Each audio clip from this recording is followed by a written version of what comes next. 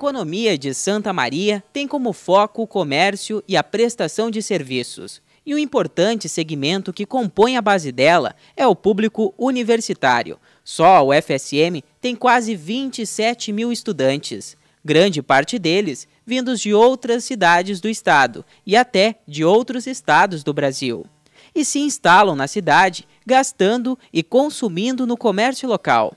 Laís, acadêmica de produção editorial, é natural de Lajeado e já está na cidade há quase dois meses. Ela divide apartamento com mais uma estudante, com a qual também divide as atribuições domésticas. Como foi para você essa mudança de status, né, de dependente dos pais para gestora dos seus próprios gastos? Uh, foi complicado no início, né? Porque a gente já administrava o próprio dinheiro, mas trabalhava, recebia. E agora está sendo bem mais complicado porque a gente está dependendo totalmente dos pais, né? E trabalhar, estudar, conciliar os estudos aqui é muito difícil. Então, o mais hum, difícil é pedir e ter que administrar ainda o dinheiro que a gente ganha, né? E quais foram essas principais dificuldades que você teve nesse início? Assim, uh, o dinheiro do aluguel, uh, do transporte, que eu não uso tanto por morar perto da faculdade, mas também tem que saber controlar. Uh, o lazer, que é o lugar onde a gente mais procura cortar os gastos, né? Porque é ali que a gente pode, porque o aluguel, a luz, a, a alimentação não tem como, né? Mas ali foi o mais difícil, botar tudo no papel, saber quanto a gente está gastando e quanto a gente está ganhando. Quais são então os gastos que de fato mais pesam então no seu orçamento? De fato, o aluguel, porque eu não sei se é propício da região e tudo mais por ser estudante, então o aluguel é o que mais pesa no orçamento. Depois, em seguida, a alimentação, né, que é o principal. E quando se faz necessário realizar corte de gastos em alguma área, em qual área você faz esses cortes? uh, na área do lazer, né? Na parte de sair, às vezes a gente não pode sair sempre, tem que dar uma cortada e é o lugar onde a gente mais tenta economizar, né? Você mora com mais uma estudante, né? Como é que vocês fazem então para gerir as despesas uh, da casa?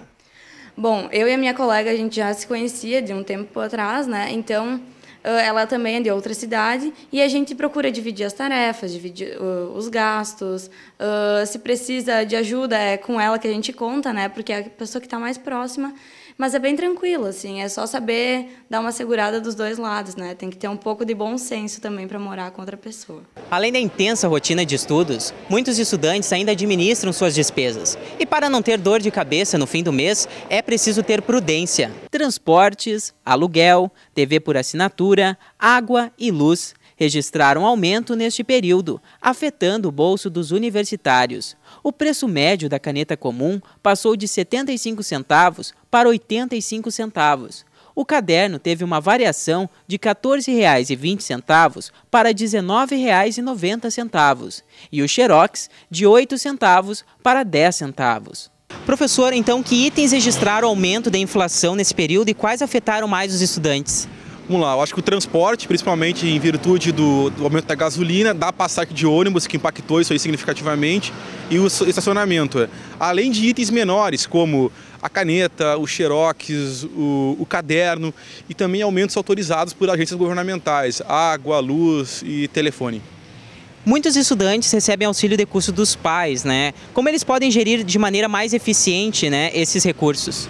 Vamos lá, gerir, ah, tipo assim, ou diminuir gastos com lazer, talvez, é, festas, é, ou também ah, pegando uma carona para faculdade, comendo, almoçando mais no RU, tá? buscando, vamos dizer assim, ó, migrar de bens, de bem para bens substitutos, que a gente costuma dizer assim, bens de qualidade talvez inferior ou questionável. É.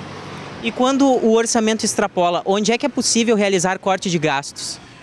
Eu acho assim, para cortar gastos significativamente, assim, talvez que pese, talvez seja na alimentação, né? porque no aluguel é difícil tu, tu, gastar, porque é um valor fixo, no transporte também, as passagens é um valor fixo, talvez na alimentação e no lazer tu, tu pode, vamos dizer bem assim, buscar uma diminuição ou poupar preços. Né? Professor, em relação ao comércio local, você acha que ele se adequa a uma classe tão significativa, né, como a dos estudantes universitários, que não possuem uma renda muito alta? Eu acho assim que a cidade é composta basicamente por estudantes. Eu acho que o único setor que se adequa à realidade dos estudantes talvez seja o setor da alimentação, onde eu tenho opções desde o prato feito, a vianda e ao buffet por quilo. Os demais setores não, eles, eles tiram o lucro dos estudantes, como principalmente o setor habitacional, através do aluguel, do condomínio, a net, o xerox, o caderno, a caneta, os agregados que os estudantes precisam. Em relação a imóveis, né, condomínios principalmente, há uma inflação muito grande nesse período, né? Sim, todo ano é reajustado, já vem uma alta significativa de novo aí pelo IGPM, os contratos de aluguel são reajustados. Vamos dizer, em média, os contratos vão subir entre 12, entre, a gente está apostando entre 12 a 18 reais, o aluguel vai subir aí, com certeza.